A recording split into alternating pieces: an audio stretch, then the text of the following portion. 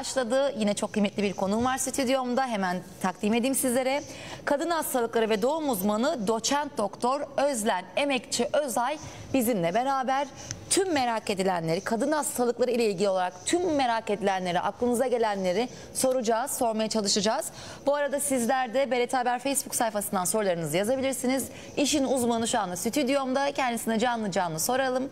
Merhaba, hoş geldiniz. Merhaba Ceren Hanım, hoş buldum. Nasılsınız? İyiyim, çok teşekkür ederim. Siz nasılsınız? Biz de teşekkür ediyoruz görüşmeyeli. En son Ağustos ayında beraber program yapmıştık.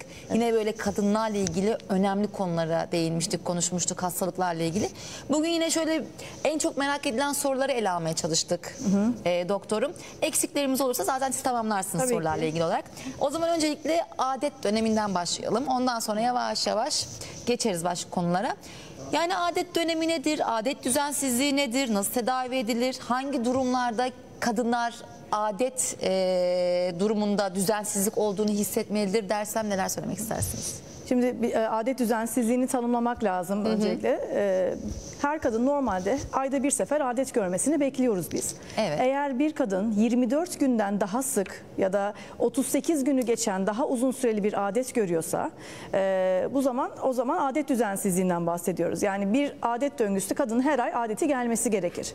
Aralıklar 24'ten daha sık oluyorsa atıyorum 15 günde bir kanama görüyorsa eğer hasta bu e, anormal uterin kanamaya geçer. Ya da siklusun uzunluğu artıyorsa 38 günü geçiyorsa bu sefer de normalde gelmesi gereken adet gecikmeli olmaya başladığı için yine e, bir doktor tarafından kişinin değerlendirilmesi gerekir. E, sürenin dışında hastanın gördüğü adet miktarı da önemli. Kanama miktarı da bizim için çok önemli. E, kanama süresi en az 2 gün sürmeli, en fazla da 7 güne uzamalı. E, eğer bundan daha uzun e, uzun sürüyorsa eğer atıyorum 10 gün bir kanaması oluyorsa hastanın geldiği zaman yine bir doktor tarafından mutlaka değerlendirilmeli. Ee, kanama miktarı dediğim gibi çok önemli. Günde kaç pet değiştiriyor bazen e, bakıyorsunuz çocuk bezi takıyorum diyor hasta. Ee, bu bizim için tabii ki çok yoğun. Özellikle hastayı ciddi kansızlığa e, sokabilecek durumlar. Bu gibi durumlarda mutlaka bir doktor tarafından, bir jinekolog tarafından e, değerlendirilmesi gerekir. Çünkü altta yatan bazı faktörler olabilir. Bu adet düzensizliğine sebep olabilecek. Evet. Yani o zaman şöyle yapabiliriz. Ee, yani iki gün ve yedi gün normal süreç. Evet. Yedi günden fazlası da e, düzensizlik. Anormal kanama. İki günden zaten az sürmesi de Evet. anormal. Ee, Bir de ama aralıklar önemli. Aralıklar önemli. Bir de şey de önemli Deniz Doktorum. Şimdi yani 38 günü geçerse bir de 14 günde yani hem çok geç olması Evet. hem çok erken Evet. olması. Evet. Normalde aslında ideal olan 28 günde bir gelen, böyle 4-5 gün devam eden kanama miktarı bizim için Evet. normal olarak kabul edilir. Çünkü düzenli yumurtlama genellikle adetin tam e, orta döneminde böyle 14. gün gibi e, yumurtlamasının olmasını bekliyoruz biz hastanın.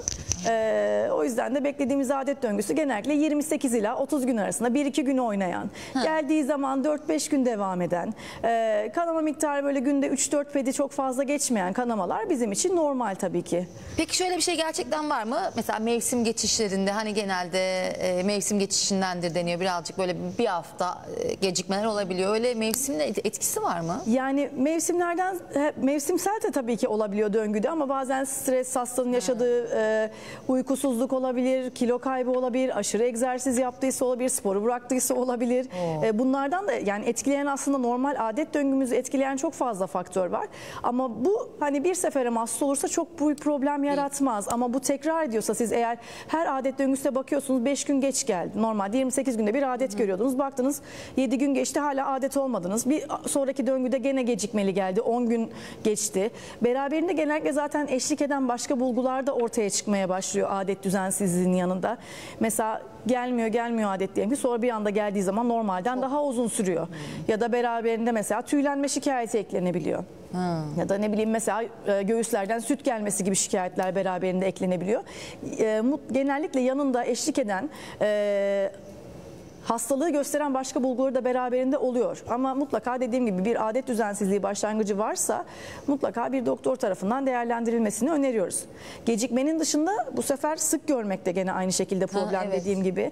Bazen hasta geliyor 15 günde bir kanama görüyor ve o 15 günde gelen kanama normalden çok da uzun sürüyor. Hasta bu sefer halsizlik, yorgunluk, işte e, kansızlık bulguları ortaya çıkmaya e, başlıyor beraberinde. E, bunları da hep düzene sokmamız gerekiyor. Altta yatan, bu duruma sebep oluşturan faktörleri faktörler nelerdir bunları değerlendirmek lazım. Ki bunlarda da genellikle anatomik sorunlar olabiliyor. Ha, genelde nedir o e, sorunlar ve nasıl düzene oturtuluyor? İlaç tedavisi mi oluyor? Ne oluyor? Şimdi tabii ki koyduğunuz tanıya göre değişiyor. Hasta geldi diyelim ki sık sık adet görmeyle geldi. Ee, önce bir tabii ki sebeplerin en önemli e, değerlendirmeniz gereken durum anatomik problemler olabilir. Nedir? Bu rahimiyle ilgili rahimin içerisinde bir yer kaplayan et parçası gibi bir polip olabilir. Miyom olabilir. Yine kas tabakasının içerisinde yerleşmiş bir kitle olabilir. Ee, adenomiyozis dediğimiz bir hastalık olabilir. Endometriyozis olabilir. Yani bunların anatomik bir sorun var mı? Rahim yumurtalıklarda gördüğünüz, değerlendirdiğiniz bir sorun var mı? Buna bakarsınız. Önce ultrasonla bir görüntüleme yaparsınız. Eğer bunlar normal her şeyi dışladığınız her şey yolunda gözüküyorsa o zaman ikinci baktığımız hemen şey e, hastanın hormon seviyelerini değerlendirmek lazım. E, bunları da genellikle adetin ikinci, üçüncü günü gibi kanamalıyken hasta işte e, tiroid problemleri var mı?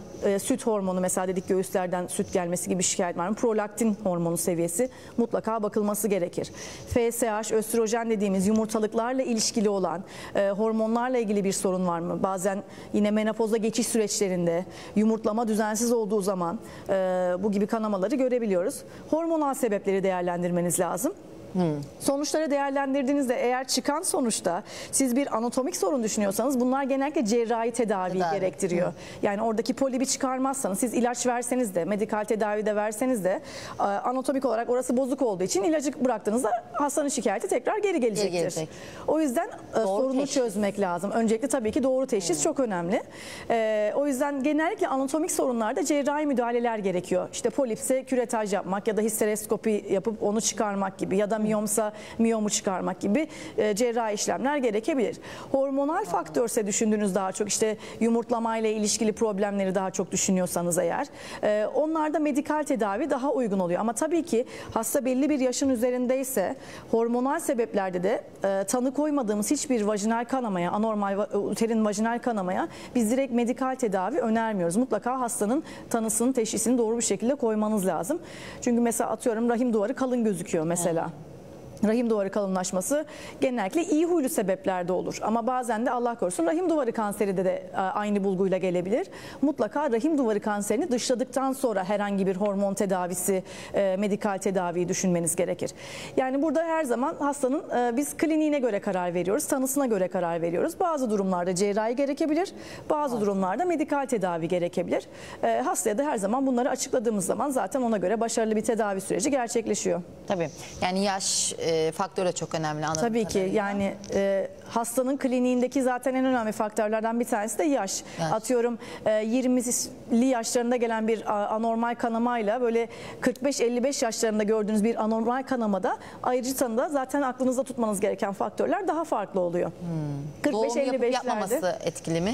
onlar da etkili faktörlerden bir tanesi. Doğum yapmış olan kadınlarda bazı hastalıkları daha az görüyorsunuz. Mesela rahim duvarı kanseri, yumurtalık kanseri bunlar daha az görülüyor. Mesela daha çok doğum yapmış, hiç doğum yapmamış kadınlara göre.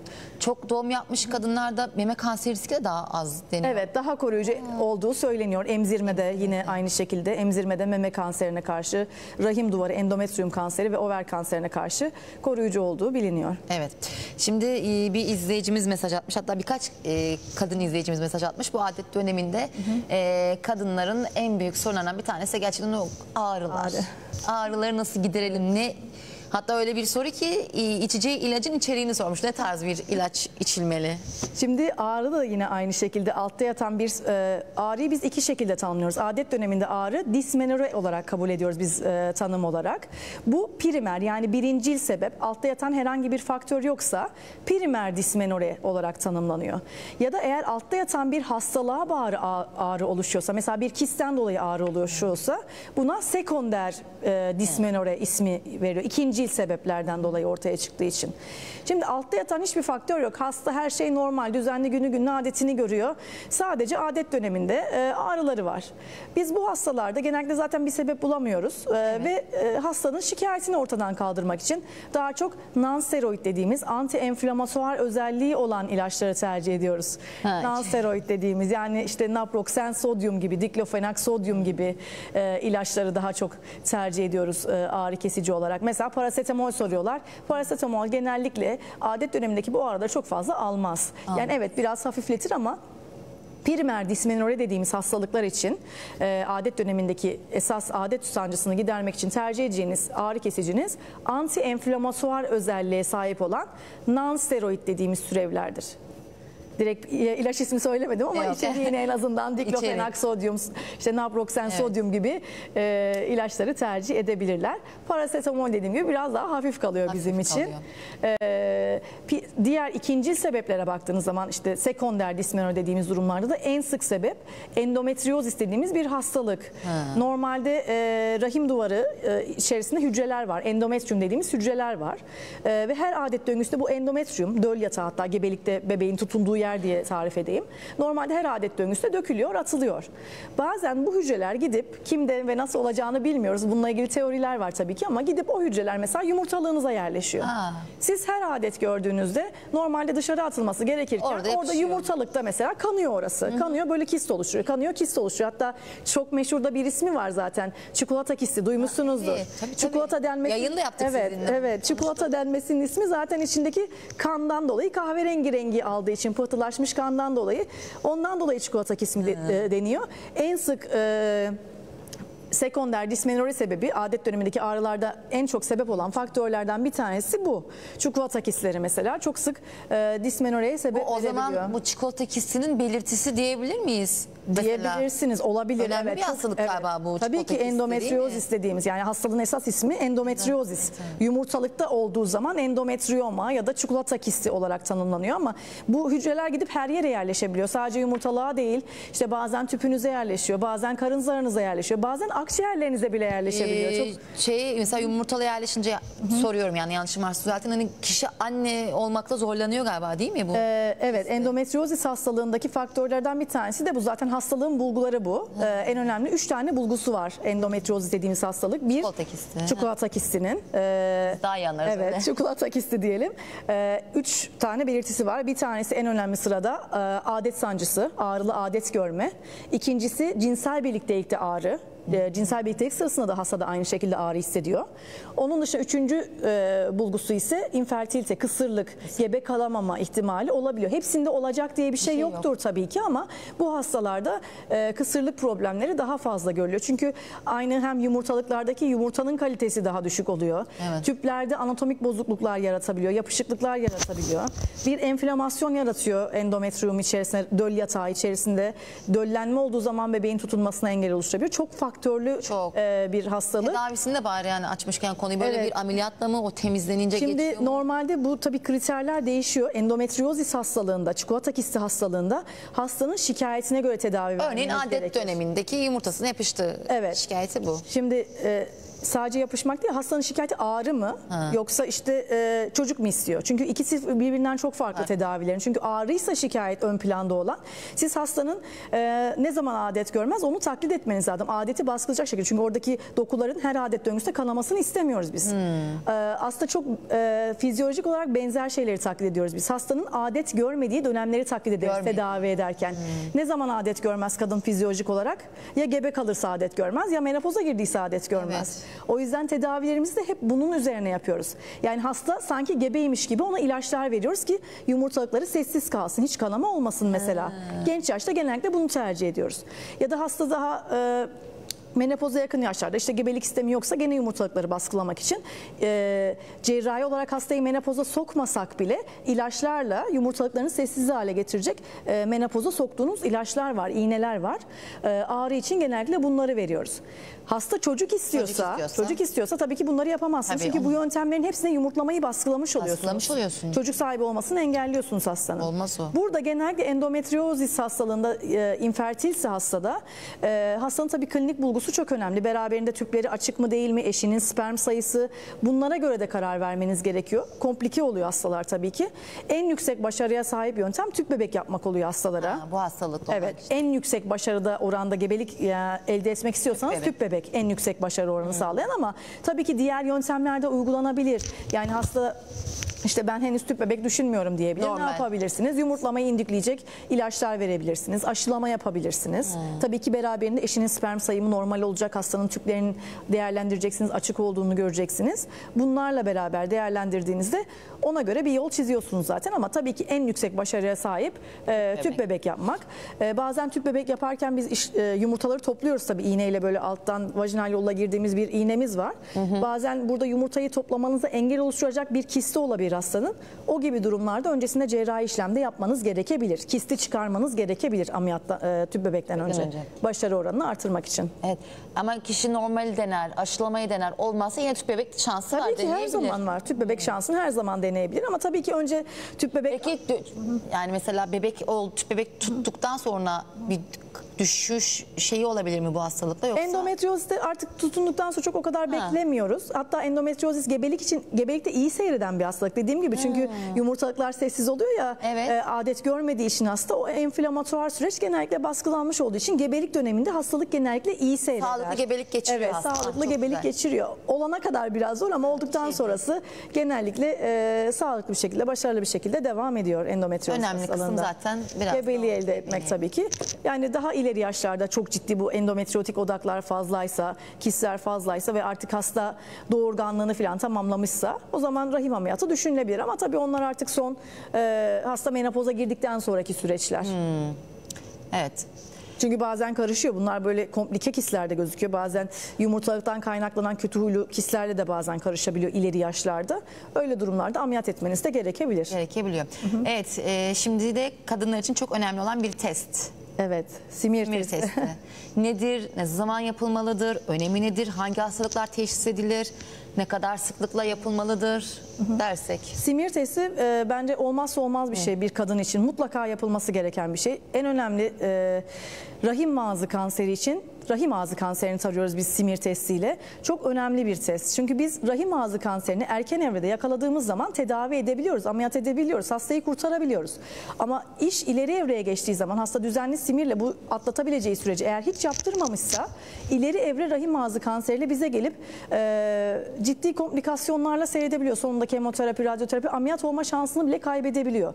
Aslında çok basit bir şey. Yani jinekolojik muayene yaparken benim herhalde 30 saniyemi bile almıyor almak. Çok basit. 30 saniye. Evet. Yani bir e, spekulumla alttan vajinal yolla bir muayene yapıyoruz ve muayene sırasında rahim ağzını görüntülüyoruz. Görüntülediğimiz dokudan, rahimin dış ağzından e, bir sürüntü örneği alıp bunu patolojiye gönderiyoruz ve patologlar mikroskop altında değerlendiriyorlar bizim için ve çok önemli bir bilgi veriyorlar bize. Burada rahim ağzı kanseri öncüsü olabilecek hücre var yok. Bu bizim için önemli ya da varsa hangi aşamada ona göre ileri tedaviler, testler yapılıyor.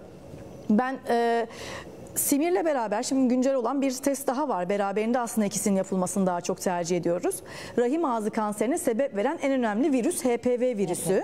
Simir'le HPV testini beraber yapıyorsanız eğer, ikisini beraber değerlendirdiğiniz zaman iki sonuçta eğer temiz gelirse hastayı 5 yılda bir bile taramanız yeterli. Oo, Tek güzel. sadece simir testiyle taramak O istiyorsanız HPV çünkü ekstra bir maliyet getiriyor tabii ki hastaya. Tek sadece simir testi yaptıracaksanız ben hastalarıma önerim şudur. 2 yıl üst üste yaptırdığınız simir testi sonucunuz negatifse bir yıl yaptık, bir yıl sonra tekrar aldık. İki sonucu da neg- negatif çıktı, temiz geldi. Bir sonrakini 3 yıl sonra yaptırabilir. Ee, rahim ağzı kanseri yavaş ilerleyen bir kanser. Aslında düzenli aralıklarla simir yapıldığı zaman tanısını çok erken aşamada yakalayabileceğiniz bir kanser. Çünkü bu HPV virüsü sizin vücudunuza yerleştiği zaman bir günde, iki günde ya da bir ayda enfeksiyon ya da rahim ağzı kanseri yapmıyor. Yıllar sürerek yapıyor. 5 yıl sonra, 10 yıl sonra yapıyor genellikle. Yavaş o yüzden de bu yavaş ilerleyen süreçte bizim aslında çok önemli bir görevimiz var.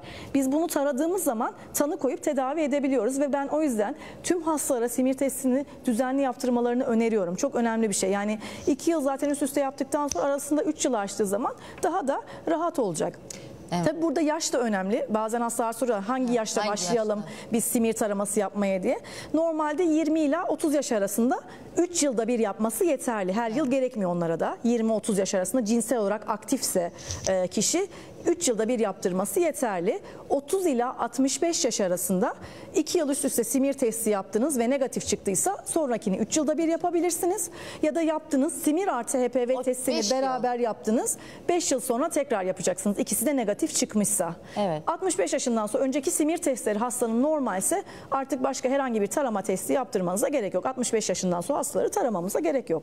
Öncekiler zaten normalde o Normal. e, şeyden sonra Şimdi beklemiyoruz. kad- çoğu kişi de şey yapıyor yani aman şimdi ne gelir sonuç gelmez diye biraz erteleyebiliyor ama ertelenmemesi gereken. bir Yani dediğim gibi bence taranmamaktan korkmak lazım. Evet. Taradık da bir şey çıktıysa eğer biz bunu tedavi edebiliyoruz zaten. Evet. Ama taramadınız ve ileri aşamada artık böyle genellikle Oğuz'da ne gibi şikayetle geliyor hasta? Kötü kokulu vajinal akıntısı oluyor, cinsel birliktelik sonrasında kanaması oluyor. Bu gibi şikayetlerle geldiği zaman yani Allah Daha korusun. zor. Evet, rahim ağzı kanseriyle ilişkili bir şüphe oluşabiliyor. Bu sefer e, yani ileri evre durumlarla karşılaşabilirsiniz. Sizin için de daha zor tedavisi. Hem maddi Tabii hem ki. manevi hasta Tabii için ki. daha zor hasta değil mi? için oldukça zor ya. Ee, küçücük basit bir simir testiyle tarayıp tanı koyabileceğiniz bir hastalığı ileri evrede rahim ağzı kanseriyle görmek e, beni çok üzüyor açıkçası. Yani Çok üzüyor. evet yani çünkü bu benim önleyebileceğim ve tanı koyabileceğim bir hastalık olduğunu düşünüyorum.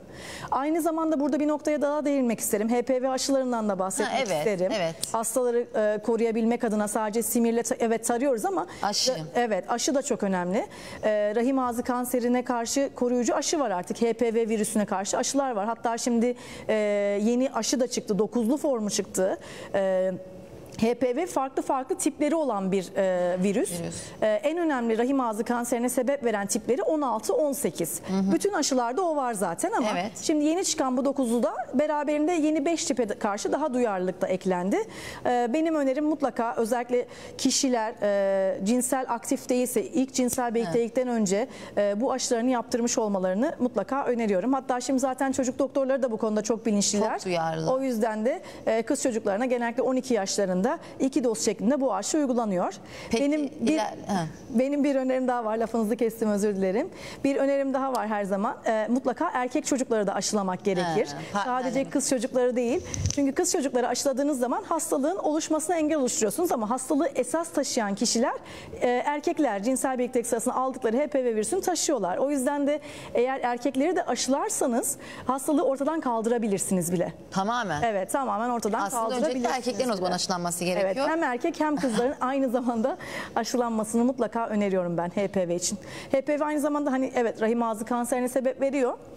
Erkeklerde de gene penis kanseri, anal kanser Aa, tabii. gibi şeylere de karşı aynı zamanda koruyuculukta elde edilmiş Bunu daha oluyor. çok duyuralım programlarda. Daha Evet. çok e, bu konuda Kız ve erkek çocukların artsın. ikisinde ben Evet. aşılanmasını her zaman öneriyorum. Evet daha yaygınlaşsın. Çok önemli bir şey çünkü.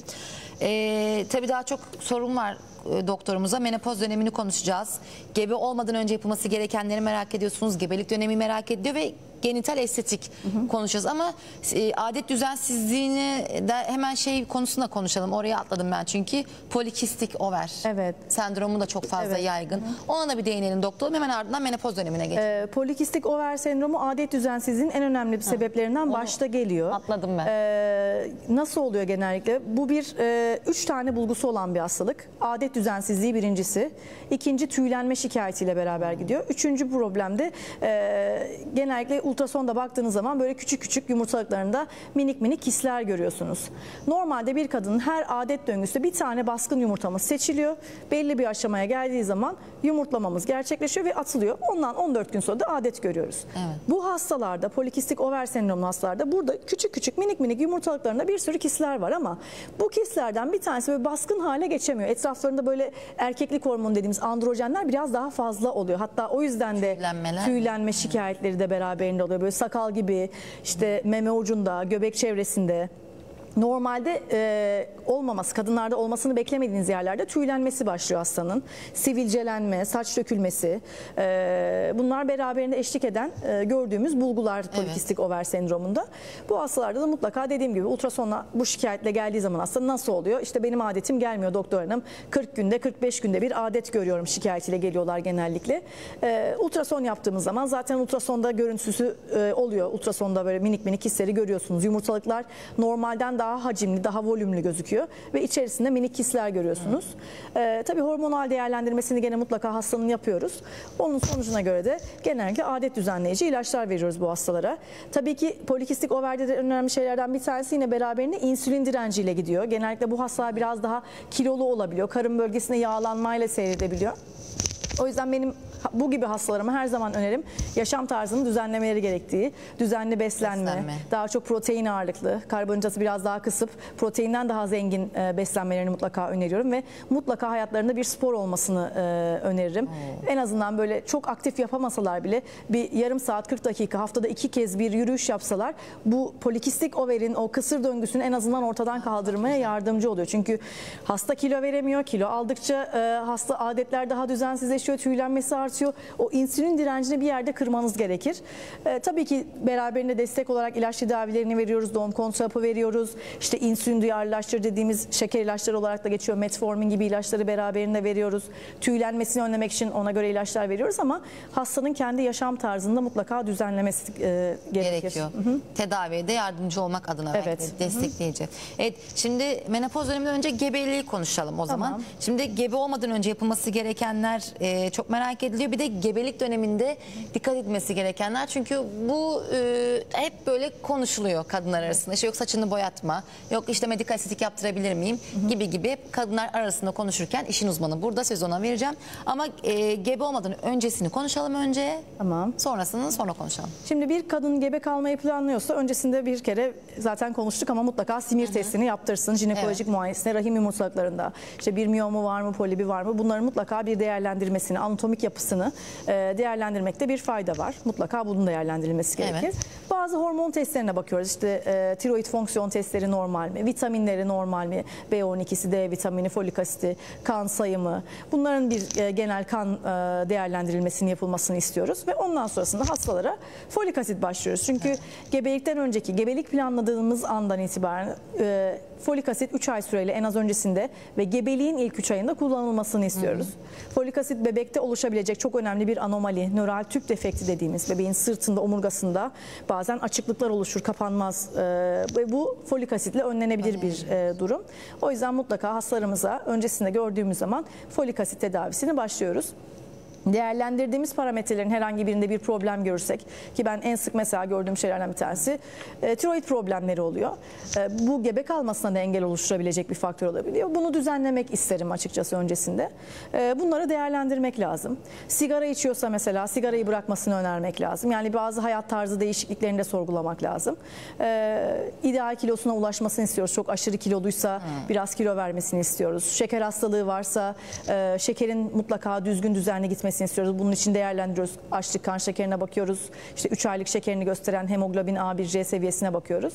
E, genel bir check-up gibi bir muayenesini mutlaka yapmasında fayda var gebelik öncesinde. Bu planlı gebelik. Planlı gebelik yapılması için. gerekenler. Tabii Evet. planlı gebeliği çok önemli değil mi? Yani Sağlıklı bir gebeliğin Sağlıklı bir anahtarı dönem için için. bence ilk etapta e, planlı bir gebelik olması gerekiyor. Çünkü bazen hasta plansız gebe kalıyor. E, İlaç Tedavi kullanımı edilme. oluyor. İlaç kullanımı oluyor. Mesela gebe olduğunu bilmeden e, nasıl olsa gebe değilim diye düşünerek mesela ilaç almış oluyor farklı bir sebepten. Ya da doğum kontrol hapı kullanırken unutuyor mesela gebe kalabiliyor ve bu ilaçların gebelik üzerine olumsuz etkileri olabileceğini mutlaka değerlendirmek gerekiyor. Hasta da tedirgin oluyor açıkçası. Aman ben gebeyim bir ilaç içtim bu acaba bir şey olur mu diye. Dokuz ay boyunca. Dokuz ay boyunca onun endişesini taşıyor. Yani o yüzden ben her zaman hani planlı, sağlıklı bir gebelik için planlı bir gebelik olmasını tüm hastalarıma öneririm. evet. Peki en çok merak edilenler hasta ge- gebe kaldı diyelim. Kişi gebe kaldı diyelim. İşte yok e, dişime dolgu yaptırabilir miyim? Saçımı boyatabilir miyim? Evet. Medikal çünkü artık günümüzde Evet, herkes botoks yapabilir e, tabii gebe de kalsa Evet. e, bakımlı olmak Evet. istiyor. Şimdi tabii gebelikte yapabildiğimiz bazı şeyler var, yapamadığımız bazı Neler? şeyler var genel olarak tabii ki. Ee, güzellik açısından soruyorsak önce cilt bakımıyla falan gideyim isterseniz. Genellikle Size en çok sorulan evet, var mı? İşte makyaj yapabilir miyim diye soruyorum. Makyaj yapmanızda herhangi bir sakınca yok ama böyle kimya kimyasal peelingler oluyor mesela cilt için. Burada bakması gereken hastanın en önemli şey kullandığı ürünlerin içerisinde retinoik asit, A vitamini, yüksek doz A vitamini içeriyorsa bunları çok fazla e, kullanmasını ben önermiyorum. Bebek üzerine teratojen dediğimiz e, etkileri olabilecek faktörler olabiliyor ama normal nemlendiricisini işte ne bileyim tonik yüzünü silecek, e, makyaj yapacak bunları yapmasına engel bir şey yok yapabilir. Gebelik döneminde botoks soruyorlar, dolgu soruyorlar genellikle. Bunlar evet gebelik üzerine bildirilmiş herhangi bir olumsuz etki yok. Yani botoks yaptı da bebek anomalli oldu böyle bir yayın ya da çalışma yok ama e, klinik olarak şimdi e, bu durumu e, gebelik döneminde önermiyoruz. Gebelik sonrasında botoks, dolgu işlemlerinin gebelik sonrasına bırakılmasını tercih ediyoruz. Bebek üzerine bildirilmiş olumsuz bir etki görmememize rağmen. Yani bazen hasta soru işte plansız oluyor gebelik. 6-7 hafta gebe oluyor fark etmiyor. Botoks yeni yaptırmış oluyor. Bir şey olur mu? Çok büyük ihtimalle hiçbir şey olmayacaktır Ama- bebeğine. Ama planlı bir gebedir. Şimdi 28. haftasına gelmiş. Ee, hadi ben gideyim botoks yaptırayım. Onu doğum sonrasına bırakmasını tercih ediyoruz tabii ki. Botoks ve medikal dolgular için bu şekilde. Hı hı. E, saç örneğin Saç boyası boyaması, için e, diş dolgusu. Evet, diş dolgusu mümkünse eğer diş dolgusunu söyleyeyim önce. Mümkünse gebeliğin ikinci trimestri bizim için en güvenli dönem. E, ilk dönemi çok tercih etmiyoruz. Neden? Çünkü ilk 8 hafta bebeğin organ gelişimlerinin olduğu dönemdir. O yüzden de bir işlem yapılacaksa herhangi bir ameliyat, cerrahi bu diş dolgusu olabilir. E, ne bileyim safra kesesi ameliyatı illaki yapılması gerekiyordur. Gebelik dönemine denk gelmiştir yapılması gerekiyordur. Bu mümkünse gebeliğin 14 ila 28. gebelik haftaları arasında yani ikinci trimestr dediğimiz daha sorunsuz olan dönemde tercih ederiz. Çok sona doğru olmasını da istemiyoruz. Bu sefer erken doğum riskleri ortaya çıktığı için. Ha. O yüzden diş dolgusu yapılacaksa 14 ila 28. gebelik haftaları arasında Mutlaka diş doktoru gördükten sonra evet bu dolgu mutlaka gebelikte yapılması zorunludur dedikten sonra orada da dikkat edilmesi gereken önemli faktörlerden bir tanesi kullanılan lokal anestezikler. İğne yapıyorlar çünkü uyuşturmak için. Orada kullandığımız lokal anesteziğin içeriği çok önemli. Biz zaten mutlaka kişi doktoruna gitmeden önce bir yazı yazıyoruz. Ha. İşte bu ilaçları kullanabilir. Antibiyotik gerekiyorsa bu antibiyotikleri kullanabilir diye mutlaka reçetesiyle beraber ve yani diş doktorunun yazdığı reçeteyi bize göstererek tedavisini tamamlamasını istiyoruz. Ama yapması gerekiyorsa gebeliğin her döneminde yapılabilir diş dolgusu ama tercihen ikinci trimestr dediğimiz güvenli dönem 14 ila 28. gebelik haftaları arasında yapılmasını istiyoruz. Saç boyaları için de gene aynı şekilde benim e, önerim e, ilk 3 ay e, yapılmasını önermiyorum. Yine aynı şekilde bebeğin organ gelişimleri olduğu için ilk 8 haftada birinci trimestr tamamlansın. Ondan sonrasında organik boyalar nedir onlarda daha çok amonyak içeriği çok düşük olan e, boyalarla e, her ay normalde atıyorum dip boyası yaptırıyorsa o şekilde değil ama hani bir ya da iki sefer gebeliği boyunca yaparsa herhangi bir problem yaşayacağını düşünmüyorum. Bazı hani çalışmalar var bu e, gebelikte yapılan saç boyaları ile ilgili. En önemli hani sizi endişeye koyacak şey ne olabilir? E, ileri dönem çocukluk çağı kanserleriyle hani bebeğiniz ileride Allah korusun lösemi lenfoma ile ilişkili olabilir mi diye e, çalışmalar yapılmış ama e, herhangi bir veri kanıtlanmamış. E, o yüzden benim önerim dediğim gibi ilk 12 hafta dolsun 3 aydan sonra e, boya yapmak istiyorsanız da yani hani doğuma yakın böyle fotoğraf falan çekilecekse kozmetik güzel anılar kalsın istiyorsanız bir ya da iki sefer amonyak içeriği düşük olan organik boyalarla yapılmasına engel yoktur diyorum. Mesela size şey oldu mu böyle hani size gelen en değişik soru neydi bu dönemde hani e, böyle çok Gebelik güldüğünüz, döneminde. evet size sorduğu annenin çok heyecanlı da bir dönem Evet. heyecanlı da oluyor. Ee, Bazen e, Çiftler. yani tabii böyle gebelikle ilgili ultrasonda sorduklar oluyor. Gebeliğin kan grubu, bebeğin kan grubunu sordular mesela ultrasonda. Diyorum nasıl cevap verebilirim bu soruya, bunu nasıl bilebilirim diye. Böyle değişik şeyler oluyor tabii ki. Ee, onun dışında ilginç değil belki ama havuza denize girebilir miyim? Bunu soruyorlar. Havuz Bronzlaşabilir miyim diye soruyorlar. Şimdi yaz ayları gelecek önümüzde. Belki onu merak edebilirler. Ee, güneş koruyucu kullanarak mutlaka çok güneşin dik gelmediği saatlerde havuza denize girebilirler. Ee, tabii burada dikkat edilmesi gereken şeylerden bir tanesi bizim için enfeksiyonlardır havuza denize girildiği tabii. zaman. Ee, çıktığınız zaman mutlaka kendinizi hemen hızlıca kurulamanızı ve üzerinizi değişmenizi istiyoruz. Islak mayoyla kalmamanız gerekir. Mantar enfeksiyonu. Evet, mantar enfeksiyonları, idrar yolu enfeksiyonları ıslak mayolarla daha fazla oluyor. Bir de ortak kullanılan ve bakımı düzgün yapılmayan havuzlardan e, enfeksiyon kapılabiliyor. Havuzda Bunlara dikkat etmeleri lazım. Onun dışında işte güneşlenebilirler biraz birazcık ama dediğim gibi çok dik gelen saatlerde olmasın. Bu sefer çok sıcağın altında kalırlar ve yeteri kadar su içmezlerse Ya, e, güneş çarpması işte e, tansiyon düşüklüğüyle e, seyredebiliyor hastalar. Buna dikkat etsinler. Evet. Şimdi süremizin artık sonuna geldik ama bu konu değinmek istiyorum. Genital estetik. Evet. Hemen buna da bir şeyler anlatın bize. Evet. Çünkü e, birçok kadın da belki müzdariptir bu konuda. Evet. Nedir? Hangi durumlarda uygulanır? Genital estetik aslında şimdi çok, Ee, Çok tercih ediliyor gündemde, mu? çok popüler. Bu aralar çok popüler gerçekten. Ee, Burada tabii ki hastanın önemli olan şey biraz özgüvenini artırmak. Küçük dokunuşlarla belki kendi, kişinin kendisini daha iyi hissetmesini sağlamak önemli olan. Ee, burada kişilerin talebi önemlidir. Ne gibi şeyler yapılabiliyor? En çok hastayı rahatsız eden şeyler nelerdir? Tabii ki e, bazı şeyler kozmetik gibi dursa da e, hastayı rahatsız edebiliyor. Mesela iç dudaklar bazen daha büyük olabiliyor. Asimetrik olabiliyor. Bunlar da tight giydiğiniz zaman, bikini giydiğiniz zaman ya e, bisiklet sürdüğünüz Dar zaman bir elbiseyle. e, dar bir elbiseyle belki kişiyi rahatsız edebilir ya da partneriyle cinsel birliktelik olacağı zaman özgüven e, az- azlığı gibi beni beğenir mi gibi belki düşünceler olabiliyor. Bu gibi durumlarda yaptığımız e, estetik operasyonlar tabii ki çok çok farklı seçenekleri var. Yani tek başına sadece cerrahi değil genital estetik. Ha. Farklı farklı şeyler var. Tabii burada kişinin talebi önemli. Kimisinde mesela e, genital bölgesi doğumlara bağlı koyulaşmış oluyor rengi. Rengi koyu e, olduğunu düşünüyor mesela. Vajinal beyazlatma yapabilirsiniz. Bunun için e, mezoterapiler var. Lazer cihazımız var. Lazerle atış yapıyoruz. Peeling yapıyoruz genital bölgeye ve alttan daha pembe doku çıkabiliyor mesela. E, ya da dediğim gibi işte iç dudaklar asimetrik olabiliyor. Bir dudak küçük bir dudak büyükse orada cerrahi işlemle o fazla artık dokuyu kesip çıkarıp e, düzgün bir şekilde dikebilirsiniz hastanın talebine göre. Bazen kilo kayıplarına bağlı dış dudaklar normalden daha sönük olabiliyor. Menopoza girdikten sonra orada kırışıklıklar olabiliyor. Bu bölgelere dolgu yapılabiliyor. E, nasıl dudak dolgusu yapılıyorsa aynı şey genital bölgede için geçerli. Genital dudaklarda e, büyütülüp iç dudaklar küçültülebilir. Aa. Bazen doğumlardan sonra kişilerde böyle açıklıklar oluyor. Genital ve vajena ağzı daha açık oluyor ve bu enfeksiyonlara da aslında eğilim yaratabilecek bir durum. Bunu da düzeltmek adına e, labiaplasti diyoruz biz iç dudakların küçültülmesi ve dış dudaklara dolgu işlemleri uygulanabiliyor. Ya da esas en büyük problemlerden bir tanesi zor doğumlar, çok doğumlar, çok gebeliklere bağlı. E, vajen duvarı içerisinde gördüğümüz deformasyonlar oluyor. E, vajinada bolluk olabiliyor ve e, bu kişiyi cinsel birlikte esasında çok rahatsız edici olabiliyor. Mesela e, normalde olmaz ama vajinadan ses gelebiliyor. Gaz çıkarıyormuş gibi hasta cinsel birlikte esasında bir ses geliyor ve çoğu zaman kişi bunu söylemeye utanıyor. E, sormadığımız zaman hiç söylemek bile aklına gelmiyor bazen. Bunu düzeltebiliyoruz artık. Yani vajen e, dokusuna ilk etapta lazer işlemleriyle yakma işlemi yaparak lazer içerisine termal bir hasar vererek oradaki kolajen e, sentezini, bağ dokusunu kuvvetlendirebiliyorsunuz. Ya da eğer çok ciddi ileri düzeydeyse bu e, gevşeklik, bolluk durumu burada cerrahi işlemlerle vajinayı daraltabiliyorsunuz. Yine buna da vajinoplasti ismi veriliyor. Ee, onun dışında idrar kaçırması olabiliyor hastalarda. İdrar kaçırma da çok önemli bir problem. Özellikle menopoza girdikten sonra hastalarda çok sık gördüğümüz. Burada da çok önemli. Hangi hastanın fayda göreceği çok önemli. O yüzden idrar kaçırmada hastaya doğru tanı koymanız lazım.